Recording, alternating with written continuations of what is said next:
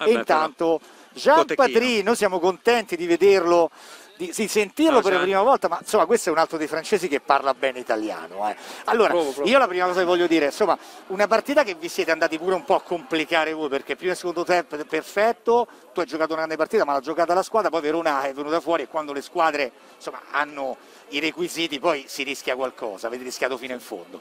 No, era, era difficile perché siamo partiti molto bene, con molto di serio eh, abbiamo sì, vinto due, due, set molto bene, e poi abbiamo perso questo terzo set, è mai facile di, di prendere e di ripartire perché il dubbio si, si mette nella testa e, e, sono molto contento perché alla fine siamo andati a cercarla que, que, questa partita e, e abbiamo, abbiamo, fatto una bella cosa di rivenire così uh, nella partita, credo è importante partire avanti, adesso siete 1-0, vi andate a giocare già la qualificazione questo, al, al playoff, quindi nei quarti di finale domenica prossima. Cosa insegna questa lezione di questa, di questa sfida di stasera contro Verona, secondo te? Beh, che non dobbiamo rilasciare mai, credo che sì, abbiamo rilasciato come l'avevo detto nel terzo set e che sono le playoff. E se facciamo così è pericoloso credo dobbiamo avere la testa sempre sul campo e spingere, spingere senza mai rilasciare.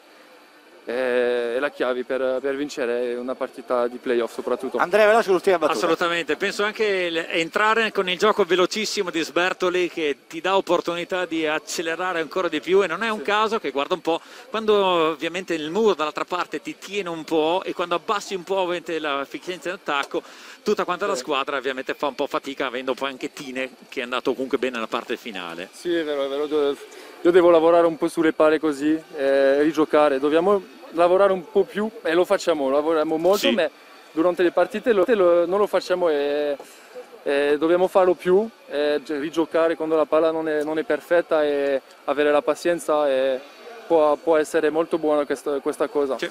Allora, noi siamo in chiusura, rimane qui con noi rimane Gian Padrino, ringraziamo Fabio Crisiafi, vi ricordo che questo ragazzo qui ha trascinato la Francia a Tokyo, sperando che ci sia perché ha fatto una qualificazione fantastica, lo vogliamo ricordare perché insomma da Cisterna è passato a Milano, adesso fa parte della nostra Superlega. Un saluto a Maurizio Colantoni, un saluto a Gian Patri. Da Andrea Lachellucchetta.